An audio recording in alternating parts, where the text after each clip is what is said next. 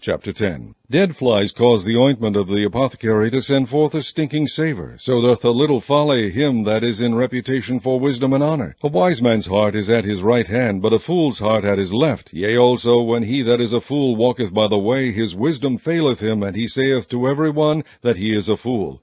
If the spirit of the ruler rise up against thee, leave not thy place, for yielding pacifieth great offences. There is an evil which I have seen under the sun, as an error which proceedeth from the ruler. Folly is set in great dignity, and the rich sit in low place. I have seen servants upon horses, and princes walking as servants upon the earth. He that diggeth a pit shall fall into it, and whoso breaketh an hedge, a serpent shall bite him. Whoso removeth stones shall be hurt therewith, and he that cleaveth wood shall be endangered thereby. If the iron be blunt, and he do not whet the edge, then must he put to more strength. But wisdom is profitable to direct. Surely the serpent will bite without enchantment, and a babbler is no better. The words of a wise man's mouth are gracious, but the lips of a fool will swallow up himself. The beginning of the words of his mouth is foolishness, and the end of his talk is mischievous madness.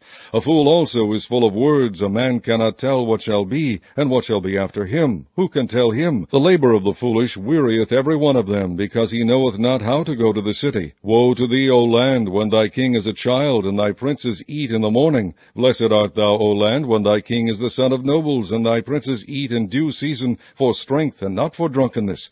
By much slothfulness the building decayeth, and through idleness of the hands of the house droppeth through. A feast is made for laughter, and wine maketh merry, but money answereth all things. Curse not the king, no, not in thy thought, and curse not the rich in thy bedchamber, for a bird of the air shall carry the voice, and that which hath wings shall tell the matter. Chapter 11 Cast thy bread upon the waters, for thou shalt find it after many days. Give a portion to seven, and also to eight, for thou knowest not what evil shall be upon the earth.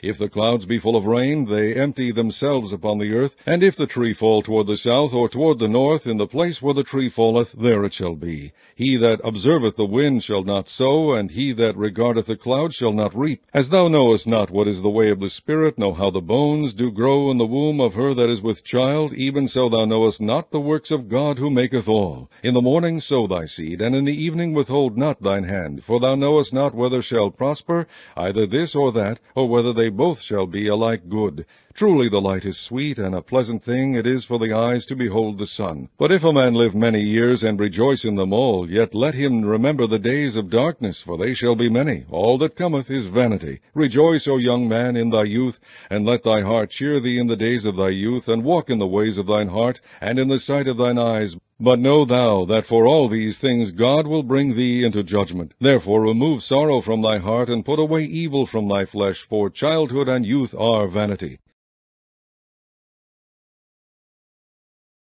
Chapter 12 Remember now thy Creator in the days of thy youth, while the evil days come not, nor the years draw nigh, when thou shalt say, I have no pleasure in them, while the sun, or the light, or the moon, or the stars be not darkened, nor the clouds return after the rain, in the day when the keepers of the house shall tremble, and the strong men shall bow themselves, and the grinders cease because they are few, and those that look out of the windows be darkened, and the doors shall be shut in the streets, when the sound of the grinding is low, and he shall rise up at the voice of the bird, and all the daughters of music shall be brought low. Also when they shall be afraid of that which is high, and fear shall be in the way, and the almond tree shall flourish, and the grasshopper shall be a burden, and desire shall fail, because man goeth to his long home, and the mourners go about the streets.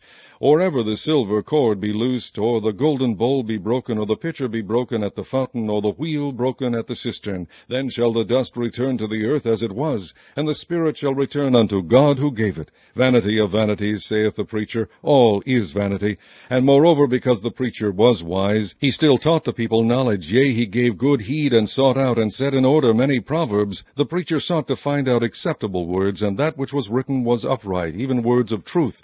The words of the wise are as goads, and as nails fastened by the masters of assemblies, which are given from one shepherd. And further by these, my son, be admonished, of making many books there is no end, and much study is a weariness of the flesh. Let us hear the conclusion of the whole matter. Fear God, and keep his commandments, for this is the whole duty of man. For God shall bring every work into judgment with every secret thing, whether it be good or whether it be evil. The Epistle of Paul the Apostle to the Galatians, chapter 1. Paul, an apostle, not of men, neither by men, but by Jesus Christ, and God the Father who raised him from the dead, and all the brethren which are with me, unto the churches of Galatia, grace be to you, and peace from God the Father, and from our Lord Jesus Christ, who gave himself for our sins, that he might deliver us from this present evil world, according to the will of God and our Father, to whom be glory for ever and ever. Amen. I marvel that ye are so soon removed from him that called you into the grace of Christ unto another gospel, which is not another, but there be some that trouble you and would pervert the gospel of Christ. But though we, or an angel from heaven, preach any other gospel unto you than that which we have preached unto you, let him be accursed. As we said before, so say I now again, if any man preach any other gospel unto you than that ye have received, let him be accursed. For do I now persuade men, or God? Or do I seek to please men? For if I yet pleased men, I should not be the servant of Christ. But I certify you, brethren, that the gospel which was preached of me is not after man. For I neither received it of man, neither was I taught it, but by the revelation of Jesus Christ. For ye have heard of my conversation in time past in the Jews' religion, how that beyond measure I persecuted the church of God and wasted it, and profited in the Jews' religion above many my equals in mine own nation, being more exceedingly zealous of the traditions of my fathers. But when it pleased God, who separated me from my mother's womb, and called me by his grace, to reveal his Son in me, that I might preach him among the heathen. Immediately I conferred not with flesh and blood, neither went I up to Jerusalem to them which were apostles before me, but I went into Arabia, and returned again unto Damascus. Then after three years I went up to Jerusalem to see Peter, and abode with him fifteen days. But other of the apostles saw I none, save James the Lord's brother. Now the things which I write unto you, behold, before God I lie not. Afterwards I came into the regions of Syria and Cilicia, and was unknown by face unto the churches of Judea which were in Christ. But they had heard only that he which persecuted us in times past now preacheth the faith which once he destroyed, and they glorified God in me.